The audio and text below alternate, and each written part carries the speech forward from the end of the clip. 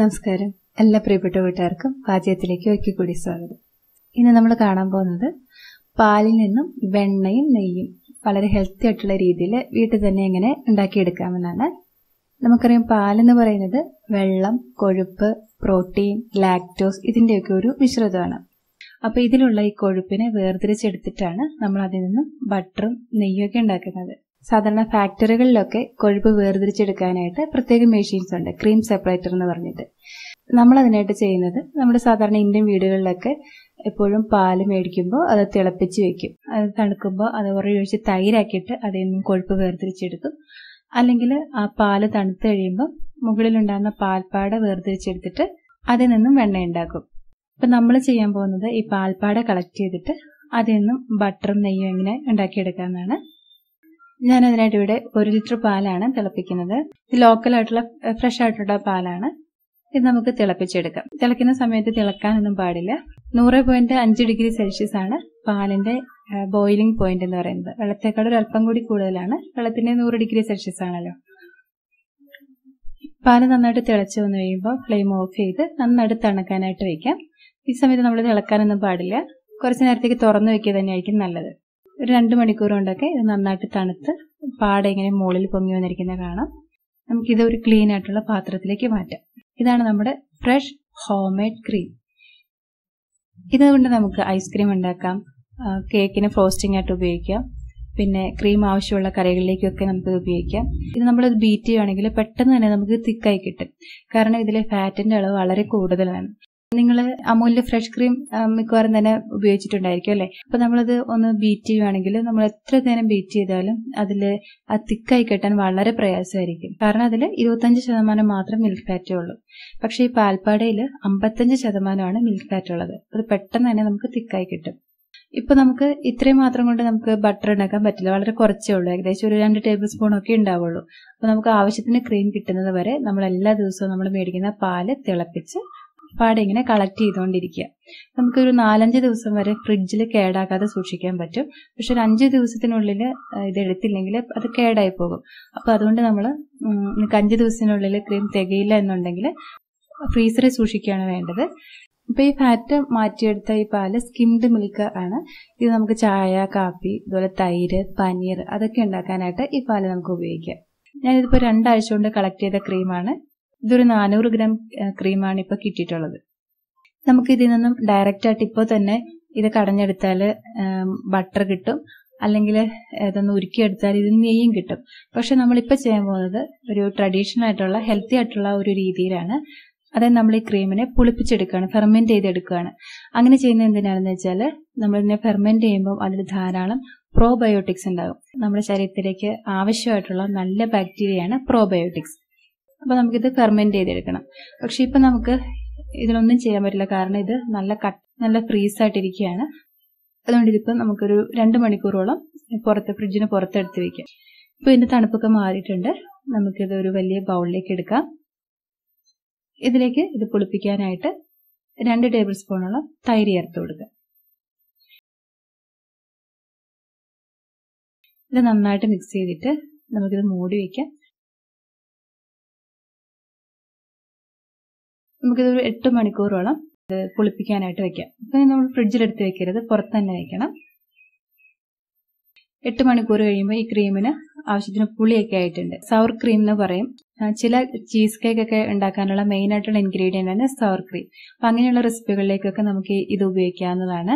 പിന്നെ അത് മാത്രമല്ല നമ്മൾ സാധാരണ നമ്മൾ കേക്ക് ഉണ്ടാക്കുമ്പോൾ അതിലേക്ക് കുറച്ച് ഇത് ഈ സവർ ക്രീം കുറച്ച് ചേർത്ത് കൊടുക്കുകയാണെങ്കിൽ നല്ല സോഫ്റ്റ് ആയിരിക്കും നമ്മുടെ കേക്ക് ഇനി നമുക്ക് ഇതിൽ നിന്നും വെണ്ണ എങ്ങനെയാണ് എടുക്കുന്നതെന്ന് നോക്കാം.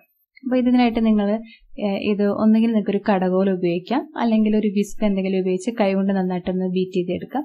ഇപ്പം നമ്മൾ ചെയ്യുന്നത് മിക്സിയുടെ ജാറിൽ ഇതിട്ട് കൊടുക്കുക. ഇപ്പം ഇവിടെ നല്ല ചൂടുള്ള സമയമാണ് അപ്പോൾ ചൂടുള്ള സമയത്ത് നമ്മൾ ഇത് കറക്കിയെടുത്താൽ ഇതിന് വെണ്ണ വേർതിരിഞ്ഞ് വരില്ല. അപ്പോൾ അത് എളുപ്പത്തിൽ നമുക്ക് വേർതിരിഞ്ഞ് കിട്ടാനായിട്ട് നമുക്ക് അതിലേക്ക് കുറച്ച് ഐസ് ക്യൂബ്സ് ചേർത്ത് കൊടുക്കാം. അതോടൊപ്പം തന്നെ കുറച്ച് തണുത്ത വെള്ളം കൂടി ചേർത്ത് കൊടുക്കുക. ഇനി നമുക്കിത് ലോ സ്പീഡിൽ ഒരു രണ്ട് മൂന്ന് മിനിറ്റ് ഇത് കറക്കിയെടുക്കാം ഇപ്പൊ കണ്ട മുകളിൽ വെണ്ണ നന്നായിട്ട് സെപ്പറേറ്റ് ആയിട്ട് വന്നിട്ടുണ്ട്.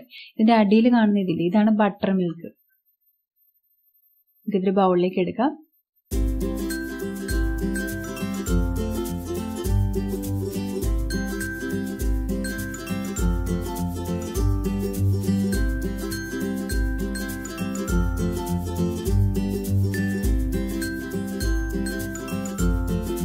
ഇത് നമ്മുടെ വെണ്ണ ഇത് നമ്മുടെ ബട്ടർ മിൽക്ക് ഈ ബട്ടർ മിൽക്ക് നമുക്ക് സംഭാരം ഉണ്ടാക്കാനോ പുളിശ്ശേരി ഉണ്ടാക്കാനോ അല്ലെങ്കിൽ ലസ്സി ഉണ്ടാക്കാനോ ഒക്കെ എടുക്കാം.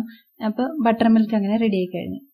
ഇനി നമുക്ക് ഈ കാണുന്ന വെണ്ണ ഒന്ന് നന്നായിട്ട് കഴുകി ഇതിൽ പാലിന്റെ അംശം ഒന്ന് കളഞ്ഞ് ക്ലിയർ ആക്കി എടുക്കണം.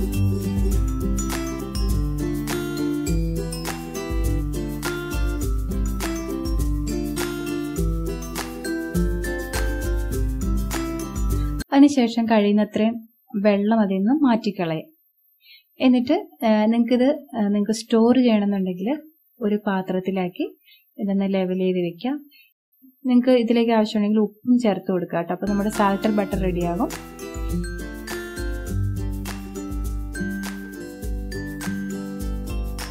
എന്നിട്ടൊരു രണ്ട് മണിക്കൂർ ഇത് കവർ ചെയ്തിട്ട് ഫ്രിഡ്ജിൽ വെക്കാം.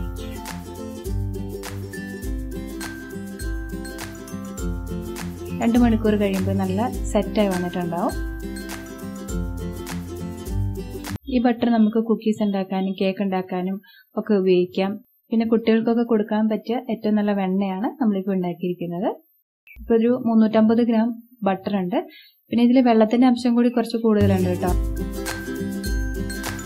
ഇത് നമുക്ക് ഒരാഴ്ച വരെ ഫ്രിഡ്ജിൽ സൂക്ഷിക്കാൻ പറ്റും. ഒരാഴ്ച കൂടുതൽ ഇരിക്കില്ല. കാരണം നമ്മൾ ഇതിലേക്ക് പ്രിസർവേറ്റീവ്സ് ഒന്നും ചേർത്തിട്ടില്ലല്ലോ. അപ്പൊ നിങ്ങൾ ഇത് ഒരാഴ്ചക്കുള്ളിൽ ഉപയോഗിക്കുന്നില്ല എന്നുണ്ടെങ്കിൽ ഒരിക്കൽ നെയ്യാക്കി എടുക്കുമായിരിക്കും നല്ലത്. അപ്പൊ നെയ്യാക്കുന്നത് എങ്ങനെയാണെന്ന് കാണാം. എന്നിട്ട് നമുക്കൊരു ചൂടിട്ടുള്ള ഒരു പാത്രത്തിലേക്ക് ആക്കിയിട്ട് ലോ മീഡിയം ഫ്ലെയിമിൽ ഉരുക്കിയെടുക്കുക ഇടയ്ക്കൊന്ന് ഇളക്കി കൊടുക്കണം. അല്ലെങ്കിൽ ചിലപ്പോൾ അടി പിടിക്കും. നോൺ സ്റ്റിക്കിന്റെ പാത്രമാണെങ്കിൽ അങ്ങനെ ഒരു പ്രശ്നമില്ല. എങ്കിലും ഇടയ്ക്കൊന്ന് ഇളക്കി കൊടുക്കാം. ഇത് നെയ്യായി വരുന്നത് വരെയുള്ള സ്റ്റേജ് ഞാനൊന്ന് സ്പീഡിൽ കാണിച്ചു തരാം. ഏറ്റവും പ്യുവർ ആയിട്ടുള്ള ഫാറ്റ് ആണ് നെയ്യ്. ഈ പാലിന്റെ അലർജി ഉള്ളവർക്ക് പോലും ഉപയോഗിക്കാം. കാരണം നെയ്യിൽ പാലിന്റെ അംശം ഒട്ടുമില്ല. ഈ നെയ്യുടെ ഗുണങ്ങളൊക്കെ ഞാൻ ഗീ റൈസിന്റെ റെസിപ്പിയിൽ നന്നായിട്ട് വിശദമായിട്ട് പറഞ്ഞിട്ടുണ്ട്. നിങ്ങൾക്കത് അറിയണമെന്നുണ്ടെങ്കിൽ ആ വീഡിയോ ഒന്ന് കണ്ടു നോക്കുക. നമ്മൾ വിചാരിച്ചിരുന്ന പോലെ അപകടകാരിയായിട്ടുള്ള ഒരു ഫാറ്റ് അല്ല. എല്ലാ ദിവസവും മിതമായ അളവിൽ നെയ്യ് കഴിക്കുന്നത് വളരെ നല്ലതാണ്.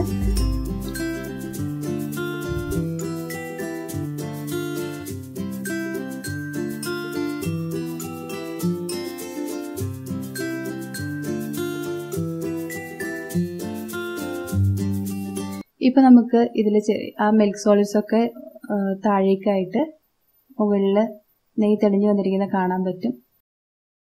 ഇപ്പോൾ അതിന്റെ ആ മിൽക്ക് സോളിഡ്സ് ഒക്കെ നന്നായിട്ട് ബ്രൗൺ കളറായിട്ടുണ്ട് ഏകദേശം ഒരു പതിനഞ്ച് മിനിറ്റിനുള്ളിലാണ് ഈ ഒരു സ്റ്റേജ് എത്തിയിരിക്കുന്നത്. ഇനി നമുക്ക് ഫ്ലെയിം ഓഫ് ചെയ്യാം. കൂടുതൽ നേരം നമ്മളിത് ചെയ്താൽ ഇതെല്ലാം കരിഞ്ഞ് നെയ്യുടെ ടേസ്റ്റ് ഒക്കെ മാറിപ്പോകും ഇത് ഉരുകി വരുന്ന സമയത്ത് നമ്മുടെ അടുക്കള മുഴുവൻ നല്ലൊരു മണമായിരിക്കും. ഇതൊന്ന് ചൂടാറി കഴിഞ്ഞാൽ നമുക്ക് ധരിച്ച് ഒരു ഗ്ലാസ് ബോട്ടിലാക്കി സൂക്ഷിക്കാം. നല്ല കളറുള്ള നല്ല മണമുള്ള നെറുനെയ് നമ്മൾ വീട്ടിൽ തന്നെ നമ്മൾ ഉണ്ടാക്കിയെടുത്തിരിക്കുകയാണ്. നമുക്ക് നെയ് റോസ്റ്റ് ഉണ്ടാക്കാനും ഗീ റൈസ് ഉണ്ടാക്കാനും നെയ്യ് ആവശ്യമുള്ള എല്ലാ റെസിപ്പി നമുക്ക് ഈ നെയ്യ് ഉപയോഗിക്കാം. ഇത് ഫ്രിഡ്ജിലൊന്നും സൂക്ഷിക്കേണ്ട ആവശ്യമില്ല. ഇത് നമുക്ക് പുറത്ത് തന്നെ വെച്ചാൽ മതി. എനിക്ക് ഇത്രയും ബട്ടറിൽ നിന്നും നൂറ്റിപ്പത്ത് ഗ്രാം നെയ്യാണ് കിട്ടിയിരിക്കുന്നത്. ഇത് കുറച്ച് ദിവസം ഇരുന്ന് കഴിയുമ്പം ഒന്ന് തിക്കായി ഒന്ന് കട്ടായി വരും.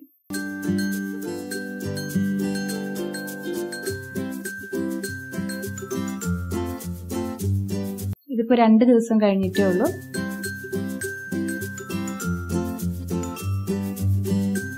ഇതുപോലെ തരിതരിപ്പോട് കൂടിയ നെയ്യാണ് നമുക്ക് കിട്ടിയിരിക്കുന്നത്. നല്ല ക്വാളിറ്റിയുള്ള നെയ്യുടെ ലക്ഷണമാണ് ഇങ്ങനെ തരിതരിപ്പായിട്ടുള്ള നെയ്യ്.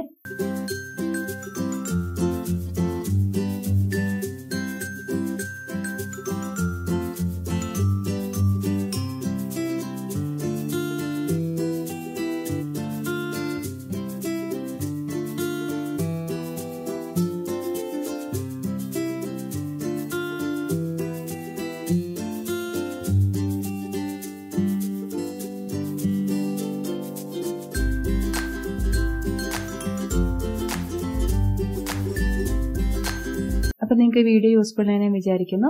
നിങ്ങൾക്ക് ഇഷ്ടപ്പെട്ടെങ്കിൽ ലൈക്ക് ചെയ്യാനും ഫ്രണ്ട്സിനും റിലേറ്റീവ്സിനും ഒക്കെ ഷെയർ ചെയ്ത് കൊടുക്കാനും മറക്കരുത്. അതുപോലെ ചാനൽ നിങ്ങൾ ആദ്യമായിട്ടാണ് കാണുന്നതെങ്കിൽ സബ്സ്ക്രൈബ് ചെയ്യാനും പുതിയ വീഡിയോസിന് നോട്ടിഫിക്കേഷൻ കിട്ടാനായിട്ട് അരികിലുള്ള ബെൽ ബട്ടൺ പ്രസ് ചെയ്യാനും മറക്കല്ലേ.